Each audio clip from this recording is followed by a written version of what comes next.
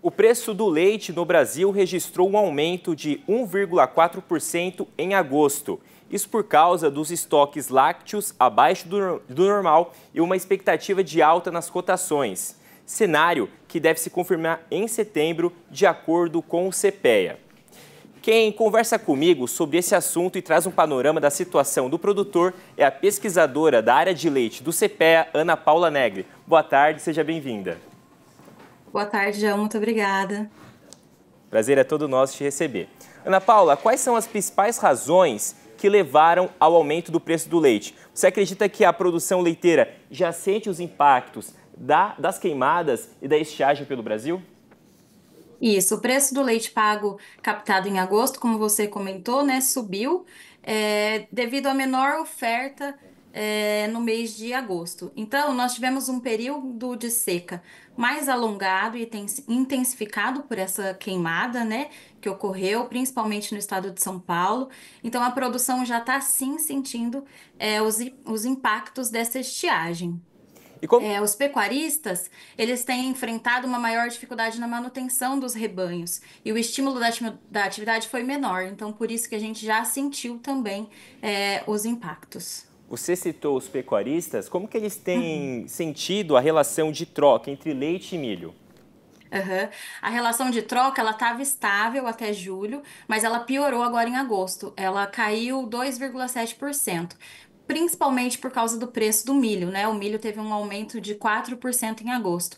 Então, mesmo com o aumento do preço do leite, é, no mês passado foi necessário 21,6 litros de leite para adquirir uma saca de milho. Então, o que implica é, nesse cenário é que a atividade ainda está com um investimento bem desafiador.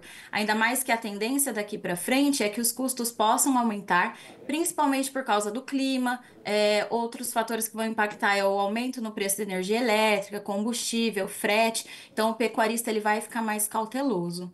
Desses que você citou, qual que você acha que vai acabar pesando mais no bolso? Eu acho que a energia elétrica e o combustível acabam impactando mais, né? Para o leite a gente usa muito a parte de resfriamento, então acaba impactando bastante. Perfeito.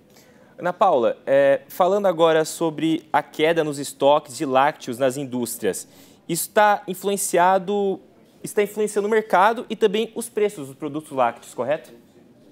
Isso, isso mesmo. O baixo estoque dos lácteos também é um reflexo dessa menor captação. Os colaboradores que a gente consulta aqui no CPE, eles comentaram bastante sobre como a seca e as queimadas acabaram afetando a produção. E com isso, os estoques ficaram abaixo do esperado para setembro. O consumo, ele contém, é, ele continua se mantendo firme, mas os preços aumentam porque está com menor oferta, né? Como um exemplo, a gente teve que o preço do leite UHT para o estado de São Paulo aumentou 7,6% em setembro. E agora olhando já para outubro, como que vai, qual que é a expectativa? Uhum. A expectativa, né, agora para setembro, para o leite ao produtor, é que esse aumento visto em agosto ele ganhe força, ainda como um reflexo da estiagem, em conjunto com essa cautela que o pecuarista ele tá de investir na, na atividade.